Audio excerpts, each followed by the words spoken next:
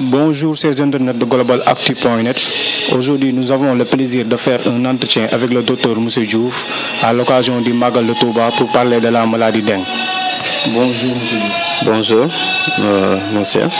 Euh, c'est moi, docteur Maud Fatou Diouf, le médecin chef du centre de santé Saint-Salim 28, 3 mosquées. Actuellement, il y a combien de cas? Bon, euh, le nombre de cas à, présent, je ne peux pas vous dire le nombre de cas exact, mais les cas sont là. Ce qui est important, je pense que c'est ce qu'on est en train de faire pour endiguer la maladie.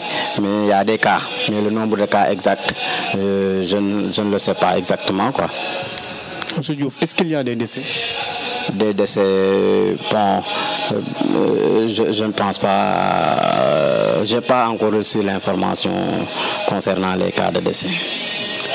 Quelles sont ces causes et ces origines de la maladie dengue Bon, la maladie, euh, je peux dire que c'est une maladie euh, qui existe, qui existe depuis longtemps.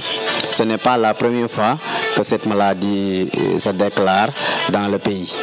Bon, ces causes, euh, je peux dire que c'est une maladie fébrile, virale. C'est dû à un virus euh, appelé le virus de la dengue.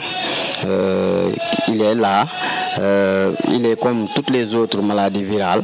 Bon, sa transmission, je peux dire que ça se fait par l'intermédiaire d'un vecteur appelé Aedes, c'est-à-dire c'est une moustique qui transmet la maladie. Euh, Monsieur Diouf, euh, quels sont les symptômes de cette maladie? Les symptômes de cette maladie sont semblables euh, à ceux du paludisme. C'est-à-dire, le plus souvent, il y a une fièvre qui est là, accompagnée au moins de des signes suivants, c'est-à-dire des céphalées, des douleurs articulaires, des myalgies, soit une éruption cutanée ou bien des douleurs rétro-orbitaires. C'est ça, les symptômes, les principaux symptômes, c'est ça. Quoi. Quels sont les moyens de lutte et les mesures qu'il faut prendre pour la prévention de la dengue? Euh, la prévention de la dengue. Je pense que les moyens de lutte euh, les plus importants, c'est la prévention. La prévention, dans 90%, ce sont les moyens de lutte parce que ce- c'est une maladie euh, qui n'a pas de traitement. C'est-à-dire le traitement qu'on peut faire pour cette maladie, c'est le traitement des symptômes, c'est-à-dire des signes qui apparaissent. Euh, bon, euh, je peux dire que les moyens de lutte, c'est euh, de prévention, surtout lutter contre les vecteurs, c'est-à-dire le, moustique qui transmet la maladie.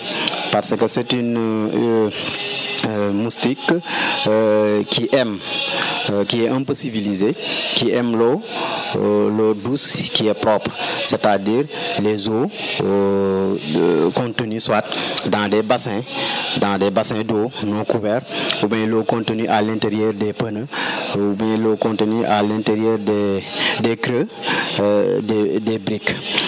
Bon, je pense que les moyens de lutte euh, sont essentiellement préventifs, c'est-à-dire le fait de dormir sous moustiquaire imprégné, et aussi de porter des habits longs et couvrants et euh, d'essayer d'éliminer euh, le vecteur. Je vous remercie, Monsieur Diouf.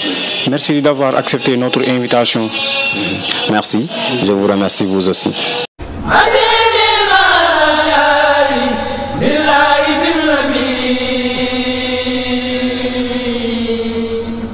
وما